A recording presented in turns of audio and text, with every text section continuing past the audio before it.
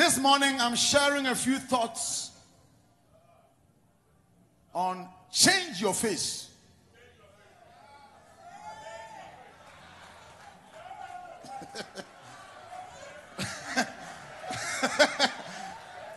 Tell somebody, change your face. Why are you laughing? Change, change, change, change, change, change, change your face.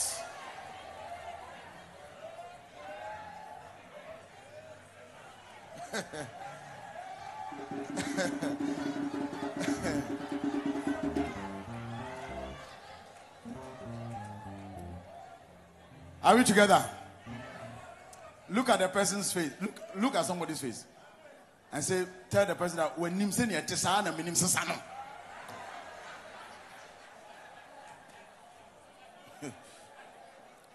Change is to make or become different. My friend Emmanuel, change your face to have a trouble photo. My friend, go and sit at the back and try yourself photo. Change is to make or become different. Is to take or use another instead. As I share on this message of change, I pray that it will happen. When we talk of a face, normal biological explanation will be that portion of the body where your eyes, your nose, and your mouth, that's how the dictionary defines it. But I'm looking beyond that.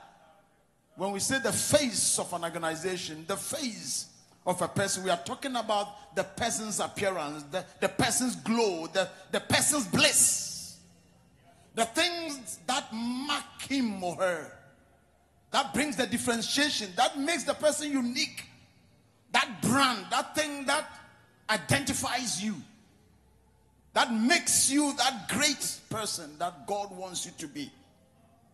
And today I'm saying that whatever face you carry, there shall be a change.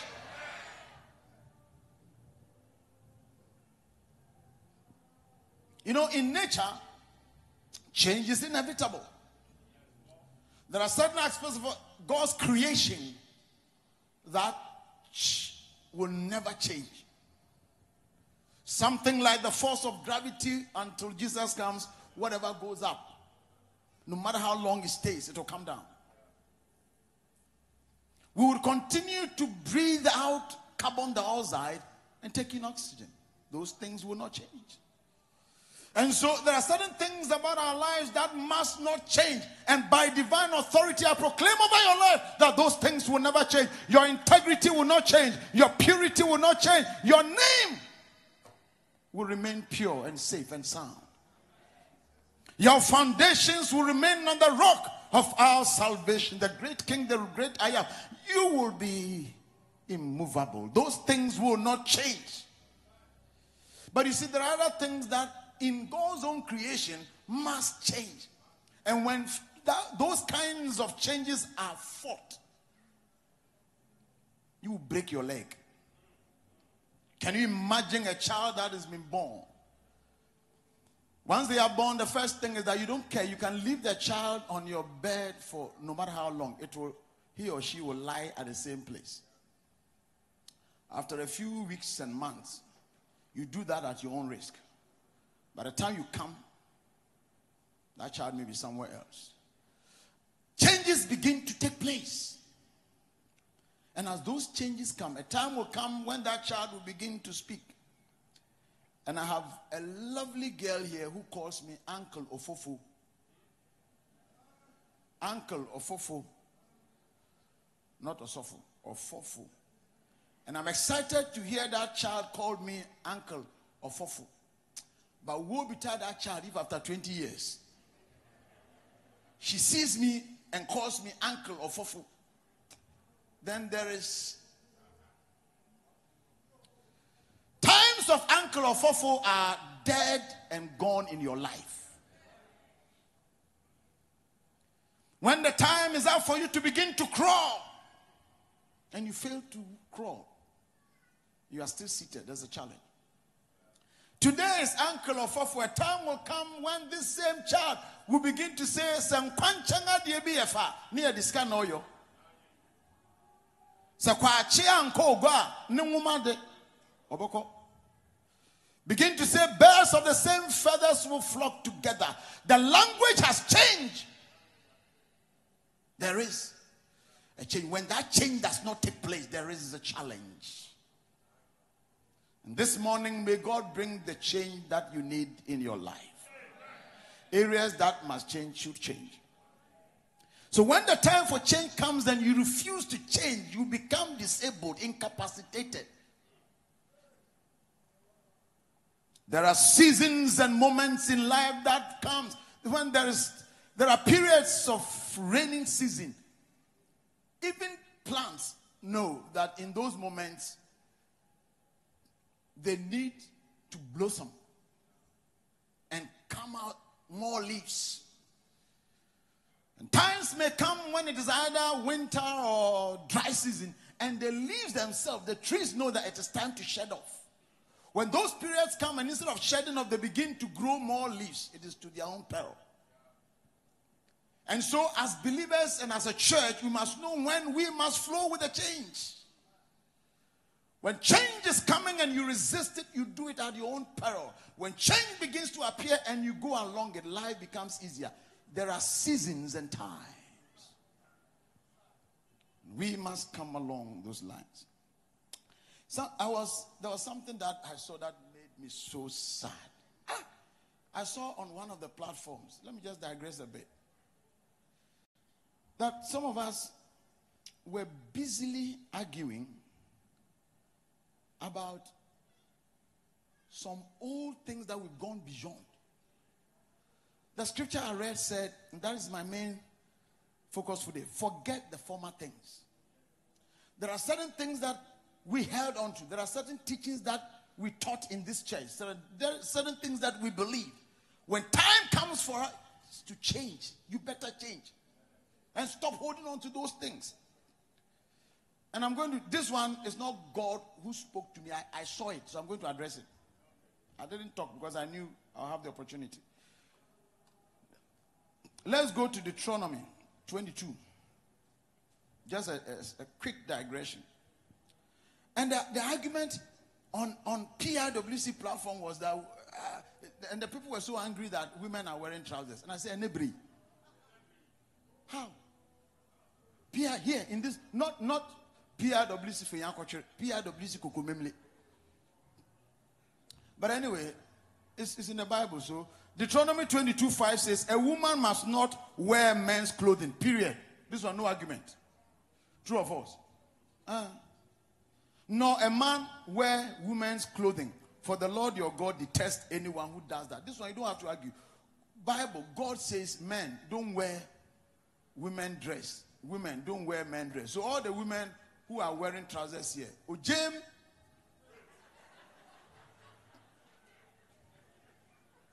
Yes, it's, it's here in the Bible. God says a woman must not wear a man's clothing, nor a man wear a woman's clothing. Period. Don't argue. Let's read the verse 1. Same God speaking. If you see a fellow's ox or sheep straying, do not ignore it, but be sure to take it back to its owner. So, PIWC members, Men should not wear women's dress. Women should not wear men's dress. When you see somebody's sheep on the road, take it and look for the owner. Same God. If you see somebody's sheep straying and you ignore it, oh Jim.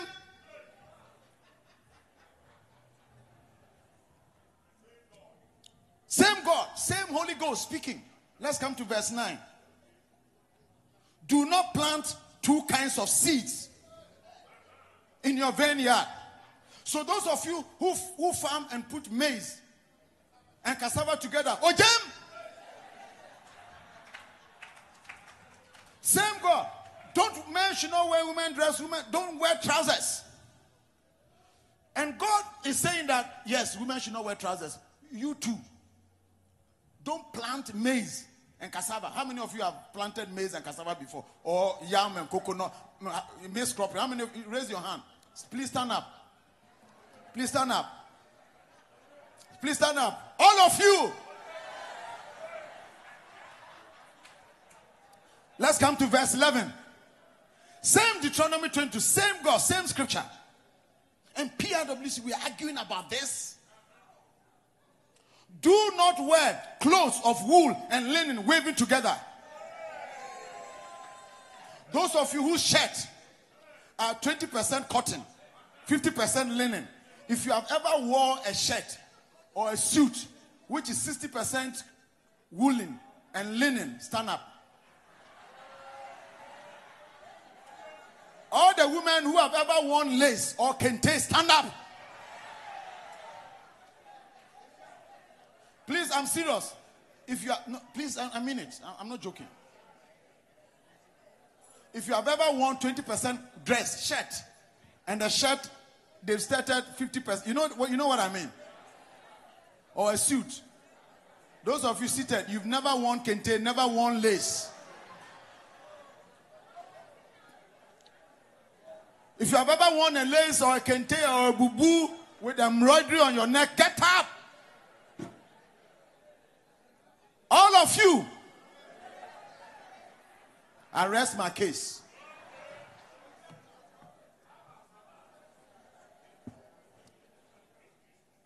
These teachings should not be heard among people like PRWs.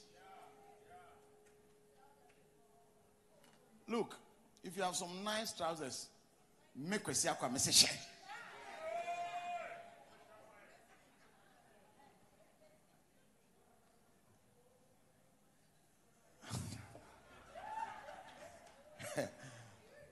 sɛ mɛnhyɛ deɛ a ɛndeɛ wo nso mɛnnua buro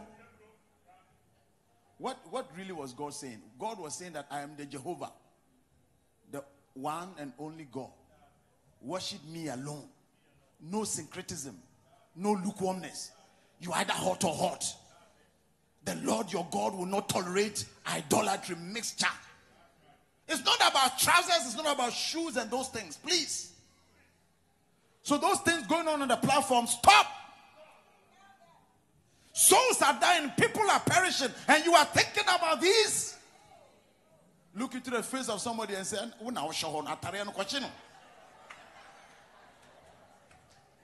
Koshino. So please, that is on the side. I'm, I'm, not telling you to go and wear trousers by force, but me, Usha, eh, make eh, me Nemo Usha ne barrier.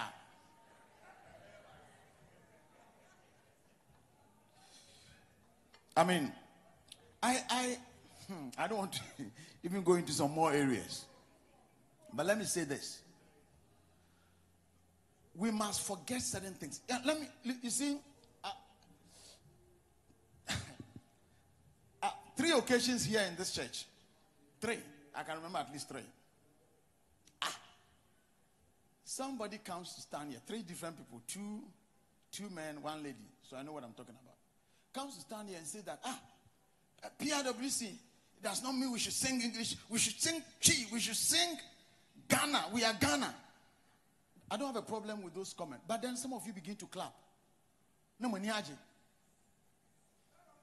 And, and you are clapping because they say we should sing Twi. Let me ask you, have I ever stood here to say nobody should sing Twi? Makabida. No, answer me. Have I ever said nobody should sing tree in this church? So, what, what are you clapping for? Now, listen and listen carefully. I'm talking about change. And I'm saying this under authority, you better listen. As far as I remain the pastor of this church, guns must feel comfortable here. Errors must feel comfortable. I am a proud Akan. Me, I am from the best region in Ghana, which is what? Yes. Yes. If you are not from Western region, you need to come to us for the best. Um, all other regions are just an afterthought.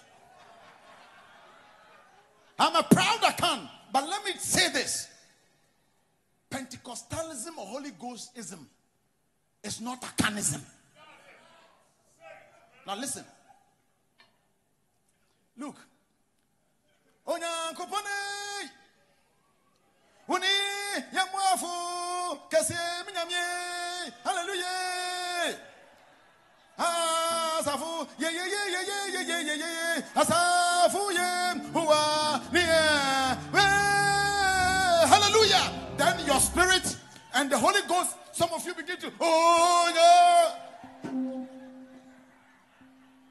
Look, listen. This one, you call this Pentecostalism.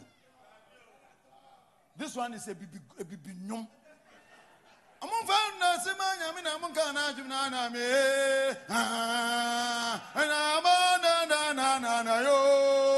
And when the holy ghost baptized us we converted that thing into the spirit and we said that is holy ghost bibinyum na holy ghost oh yeah oh yeah This one is high life. High life. It is our own culture that we have brought into the church. God loves our culture. But don't let us equate that to Pentecostalism. It has, look, culture is neutral. I know there are some of you that if anybody dares come and sing here, come and stand here and begin to say, Woyo, woyo, woyo, hey, Father, Father, Holy Ghost of fire. You say, hey, hey, hey, hey, hey. Reggae in, in, in, in Church of Pentecost, reggae. Reggae is for Bob Marley. Your mentality needs change.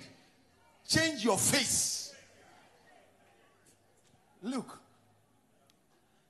I want to see a time when we come to church, the Ewes, you bring your, what do you call it? Your agba. Oh, do, do, do, do, and let's enjoy the flavor. God loves it.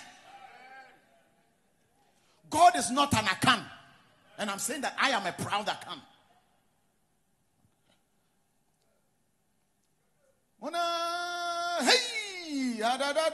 That is Kwesim not Holy Ghostism. Now, listen and listen to me. As I speak, as a pastor, I am conscious that I'm not addressing only those of you here. How many are you? Not even up to 2,000. Yesterday, I attempted to check on our Facebook pages and the people we reach. At a service, reach over 2,600 people. It means that those we reach are more than those in this auditorium. I'm looking and I'm seeing into my eyes where a time will come where in this church, PIWC, when somebody is in the US and comes to Ghana and wants a place that he or she will feel at home, he will go to a church where they are global minded. Listen to me. We have hundreds of local assemblies meeting the needs of Ghanaians all over. When you come to this place, hundreds and thousands of them. We have, in addition to the local assemblies, English assemblies all over the place who are in to satisfy the needs of the Ghanaian community and, the, and even those ones, the English is Angli- Anglican, Angli- Anglican. Even the English songs, we sing it. The Lord is good, yeah, yeah, yeah, yeah. He has done so much for me. Whoa. It's so it's it's English, but it's Twi. Twiglish. Now, all these, by the grace of God and by the leadership of the church, are available to satisfy the Akan and Ghanaian community. Only one PIWC, one out of the thousands that God has set aside to meet the needs of the world. That one we want to Akanize it. Uh, why? Why? And I'm saying that let the whole world hear this. Church of Pentecost is not for Ghanaians alone. And until we begin to build a mission mindedness and consciousness, God will not give us some grace and some grounds. Because he knows, and I said it here, he knows when he brings them, we will kill them. We are too self centered. And that is why Paul had a problem with Peter. All the local assemblies, like Peter, have been called to minister to the Jews. PIWCs, like Paul, have been called to minister to the Gentiles. We dare not miss it. And I challenge any other thought against this. I know that this is the mindset of the executive, the mindset of the founding fathers of PIWC. This place must be a place where we will sing Twi, eh, yo, hey, hallelujah. But in addition to that, some of you have watched you. And I will say it, I will say it until you change. When we sing, yeah, yeah, yeah, yeah, do, then you are coming to give offering. Then you are dancing. Immediately we sing, I am a friend of God. Then you stand up. My friend, look into the face of somebody and say, change. We will not share. We must change the face of this church. When you go to Australia and you don't know Church of Pentecost, when you go to Australia and you are looking for a church, which church will you think about? Just tell me, what church comes into mind? Hillsong. They are becoming effective and, and useful in their generation there. When you come to Ghana and you are not a Ghanaian and you are looking for a church, which church will you hear? Which church will you hear? Will you hear Wyatt? Or Kokomlemle Assembly? Is that the kind of church you want to build? Is that what we want to do to be relevant only in Kokomlemle? Do you know the thousands of people who are out there listening to us? And let the church of Pentecost and all of us hear this. God has called us to be missionaries to the whole world.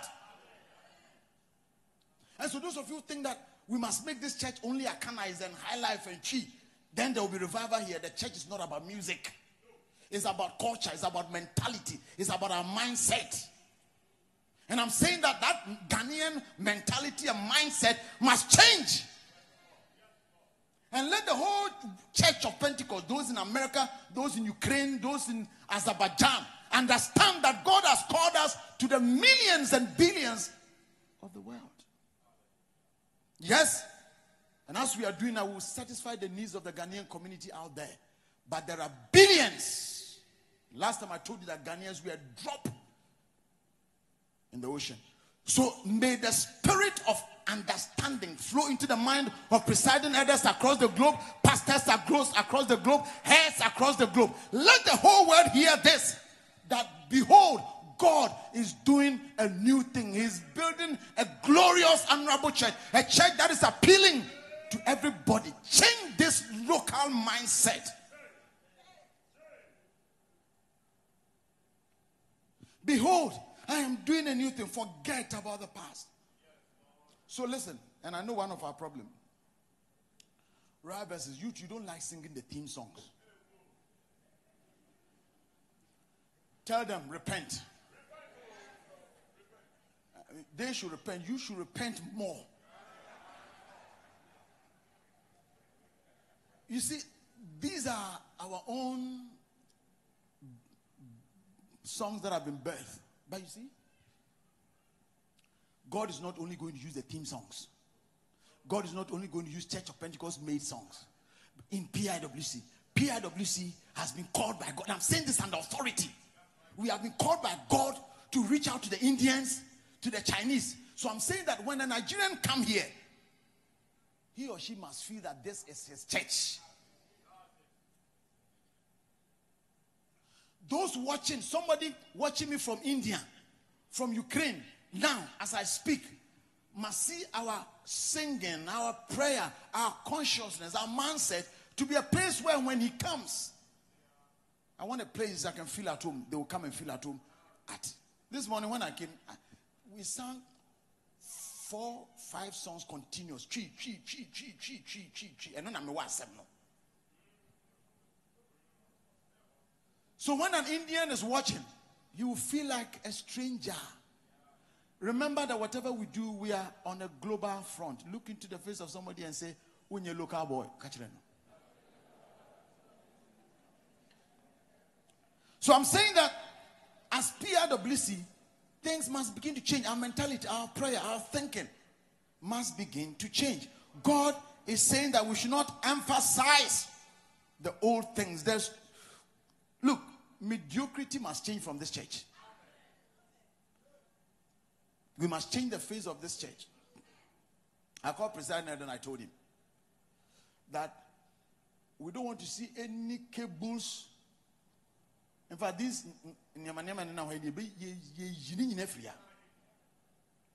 last time I almost tripped at the the launch. There was one launch we did here. Pemem.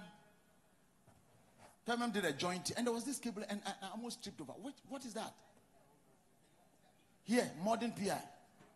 If I had fallen down, you say it's the Holy Ghost. You say, Holy Ghost. Ahuma, ahuma na triple me. These things must change. The face of the church must change. Our ushering must change. Royal Vessels you are a wonderful group. Everybody point your hand towards Royal Vessels and say, Monyamisha de Ntiamoka, Namubre.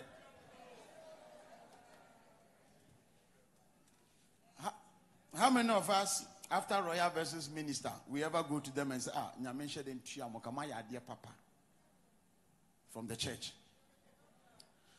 I'm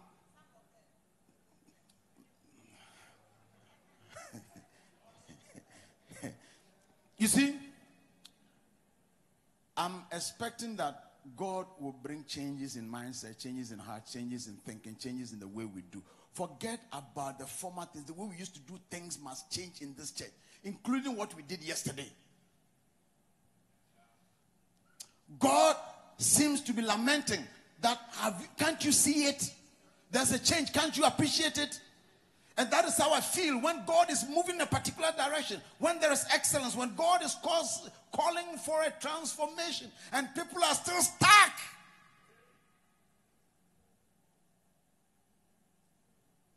God begins to lament that can't you see what I'm doing? Church, can't you see God is moving across the globe? Can't you see what God is doing across the globe? Can't you feel it? Do not dwell on the past.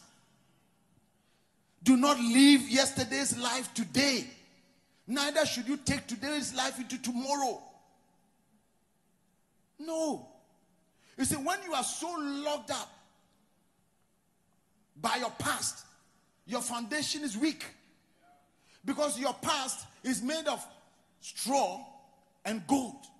Hey, everything brings together your past. And so when there's too much dwelling on the past, your anchor will not hold. If there's anything we need to dwell on, is on the Lord, the rock of our salvation.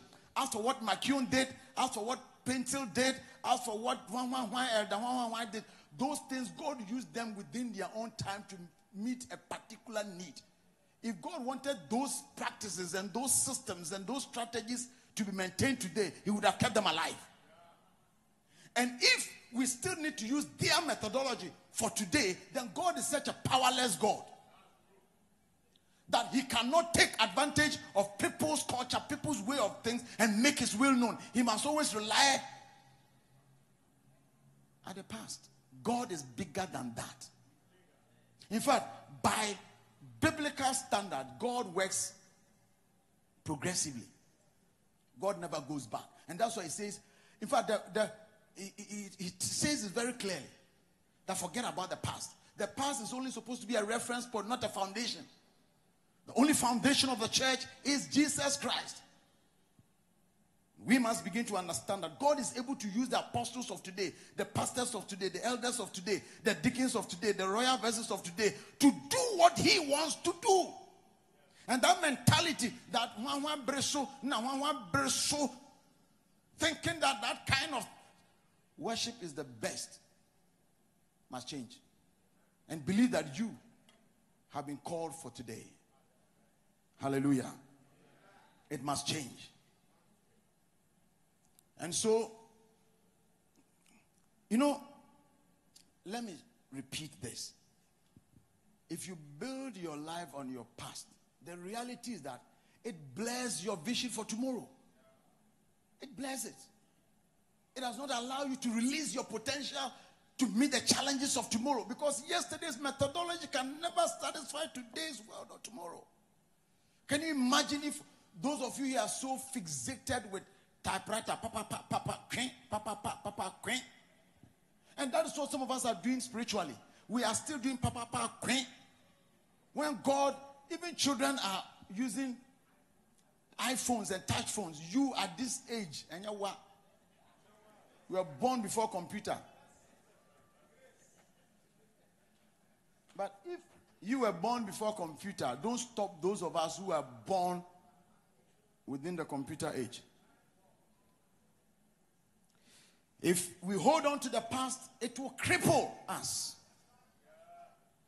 It will become a red light to our drive for progress. It will stop us. And I'm saying under authority that PIWC, let our mindset change. Let us come into this church with confidence, with boldness, look, God is here. Oh, I know God is here. And let's begin to change our mentality and think, stop thinking that God is somewhere unless we travel somewhere. I know God is here. He's doing a new thing. And he says that he's going to bring newness and freshness in life. I'm preparing this ground because God is about to raise some of you to do extraordinary things, things of excellence. And we must be prepared to receive those those things that may appear different or new. If I had time, I would have taken us through history. Some of the things that some of us fought as youth director, which were never understood. 18 years, 17 years ago, it was resisted. Now, eh, can give you countless numbers of them. And for how long shall we continue to do this? For how long shall we live yesterday's life today. Change. Let us change the face of this church. Let's bring newness and freshness in the modus operandi of this church to bring in excellence.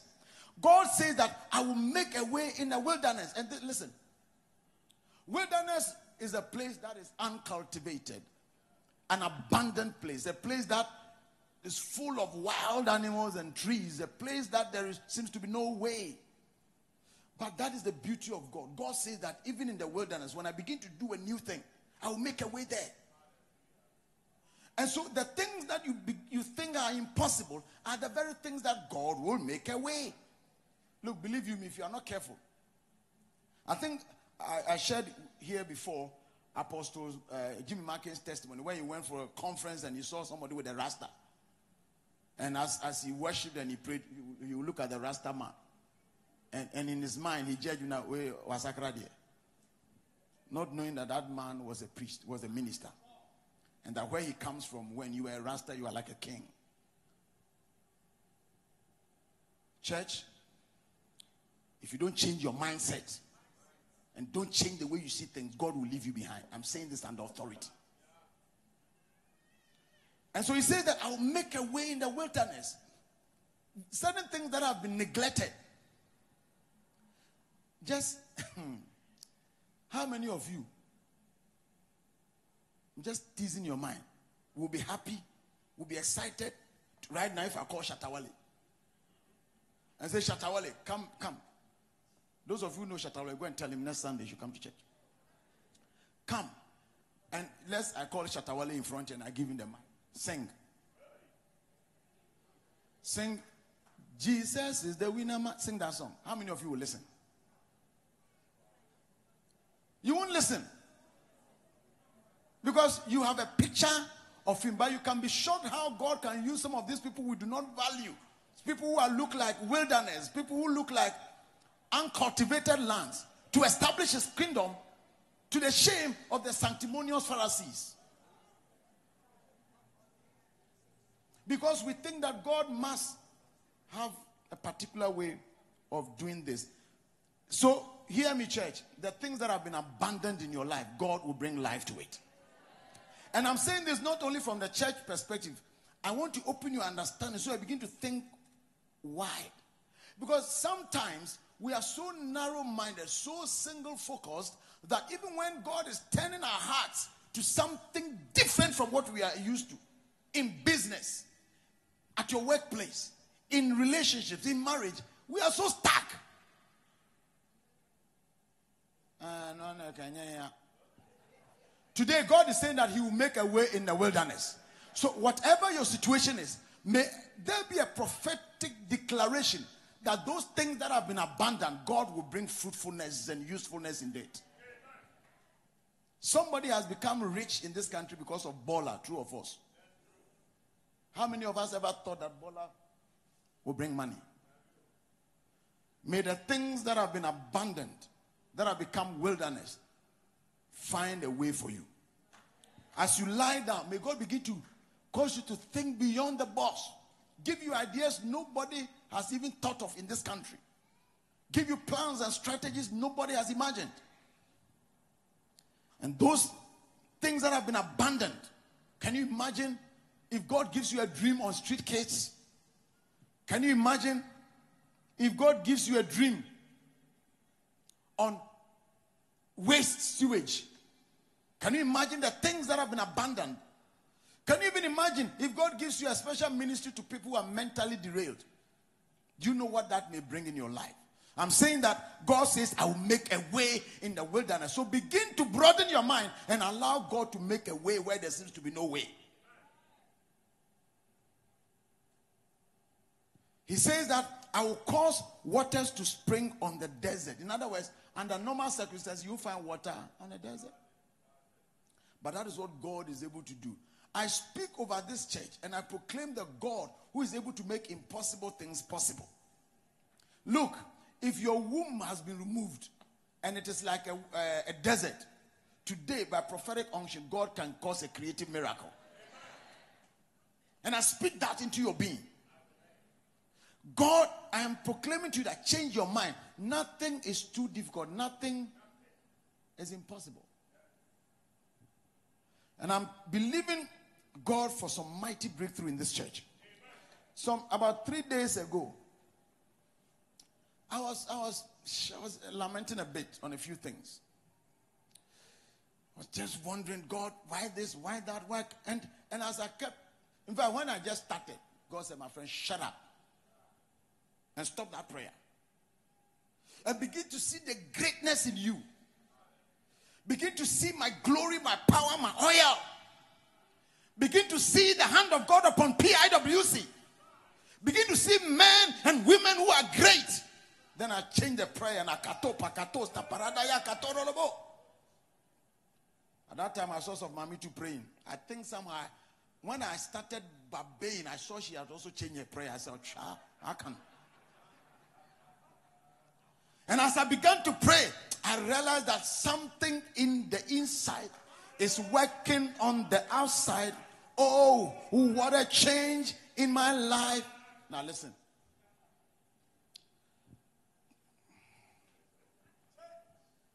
Change your face.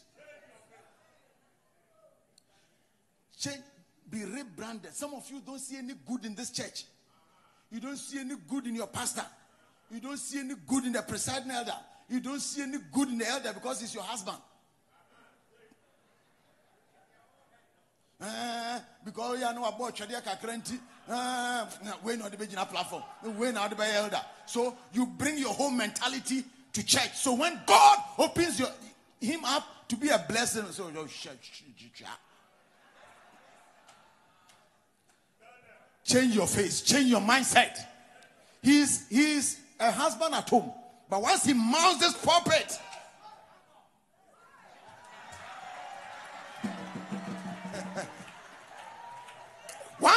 once, he mounts this pulpit, even if it's a wilderness, rivers will begin to flow. Let me say this God is more powerful than our weaknesses. So, look, Royal Vessels. Hey, more. More champion. Yes, Obina. you are a great team. And more, let it be said upon you that there is a choir in PIWC Kokomlemle that when they stand to minister, so all the um, yeah cancer and then when we be and then ya sakra. Uh, mindi matemu. Change. The things we say against each other, the negative confessions, the things we say must change. Change the face. Let the face of this church change. Let us begin to appreciate each other. When somebody sits by you, see your God seated by you. Look at somebody by you and say, God. And I open everybody in this church not to be a curse, but to be a blessing. Can you imagine? You know the number of people in this auditorium right now? More than 300, 400, 500. Can you imagine if any of them who greets you becomes a blessing to you? Lift your hands up. May these hands of yours become a blessing wherever you go. May doors be open unto you because, because there is grace upon you. And may your strength be joined with my strength, and together let's build a holy, glorious church. And I'm saying that your wife, when she comes to stand here, is not your wife. She is, no matter what, a wilderness that God is causing rivers to flow. And so, by authority from today, I release grace upon every service. I release grace upon every life. I release grace upon every business. I release grace upon every marriage. I release grace upon every work. The face of this church must change. He will turn wilderness and all those things, and he will cause them to become arable lands. Lands that will be cultivated and will produce. Shall we listen to this statement? As I bring this presentation to an end, I came under a prophetic unction. I came with a changed face, changed mentality. And I'm here to let you know that as long as you're a member of this PIWC, there shall be a change. Areas others cannot go. From today, you will go. I'm not speaking from my bones, I'm speaking from my spirit. Opportunities that were lost will come back. Are we together? The people who did not look at your face will begin to look at your face. Change has taken place. The, the king who would not normally stretch his hand towards you, there's a change over your face now. When I say change your face, I'm not talking about come to church with BS.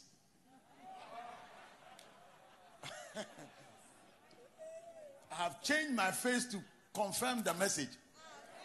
You see, I'm asking my car. I say yes, I be in Pawaka. May on a more serious note, you wonder that how can a church of Pentecost pastor on a Lord's Supper day wear kambu?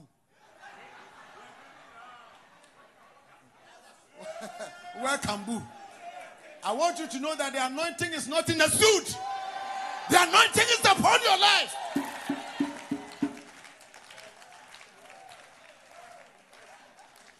Are we together?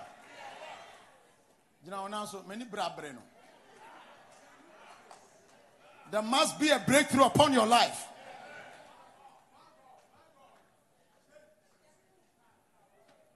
If we are not careful, we would exchange God with material things. If you are not careful, we would exchange God as clerical. But today I'm, I'm here to announce to you that there's oil upon your life. There's grace upon your life. And this morning, may your face change. There should be glory upon your life. In fact, I have descended like Moses. How many of you believe this? I am loaded with oil. I'm loaded with blessings. I'm loaded with favor. I'm loaded with a prophetic unction. And you will join your spirit with mine. And the face of this church will change. Those of you who come to church late, change your face. Look into the face of person and say, You, you are late comer. Stop. Tell change, change your face. Don't be noted for being a late comer. Look at another person and say, You, you are only Sunday church comer, Catherine. And tell the person, change your face. Don't be known as only Sunday vessel. And then tell the person, for 10 years, you have only 20,000 in your account. For, for 15 years, you cannot even say You can't eat. Every day.